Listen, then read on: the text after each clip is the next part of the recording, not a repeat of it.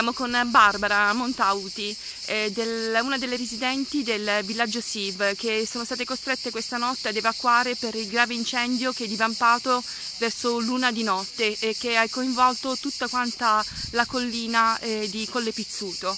Eh, Barbara eh, è qui con noi anche per denunciare lo stato di abbandono del villaggio Siv, un quartiere che di fatto potrebbe essere un fiore dell'occhiello tra San Salvo e Vasto, che di, che di fatto potrebbe in qualche modo unire i due territori, ma che da quanto ci ha fatto vedere, dalle immagini che potete vedere, è letteralmente in abbandono. Eh, tante giovani coppie eh, in questo quartiere con, anche con bambini. Noi siamo qui su un campo di calcetto, perché dovrebbe, ciò che dovrebbe essere un campo di calcetto, ma che di fatto non è. Eh, Barbara, eh, cosa avete dovuto patire questa notte? Guarda, stanotte sicuramente una gran paura, eh, anche perché eh, sentivamo proprio il rumore delle fiamme eh, altissime proprio qui dietro potete vedere completo abbandono, quindi sterpaglie e quant'altro. Poi sono venuti i carabinieri e suonavano porta a porta per comunque farci uscire. E hanno evacuato chi poteva, insomma è sceso giù a San Salvo e quant'altro.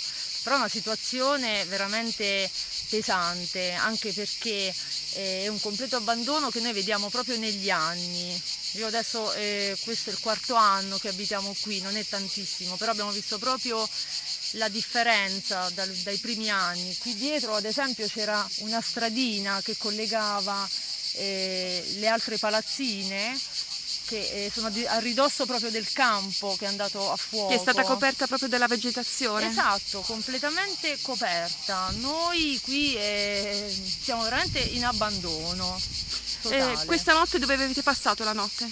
Noi personalmente da mia suocera con, eh, abbiamo preso anche i cani, siamo andati via perché c'erano fiamme altissime, le vedevamo proprio noi dalla finestra qui dietro e anche con il vento mh, mm, a favore quindi vedevamo proprio queste fiamme altissime e la paura è stata tanta e quindi abbiamo abbandonato casa con la speranza la mattina di ritrovarla, insomma, ecco, perché era veramente orribile. orribile. Qual è l'appello che volete rivolgere?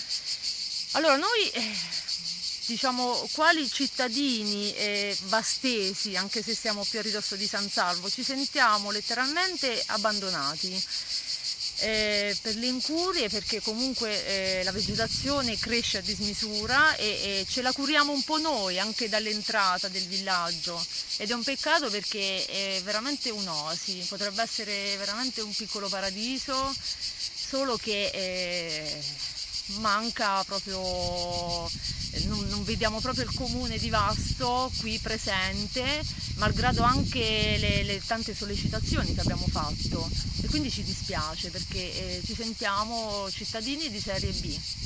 Questo.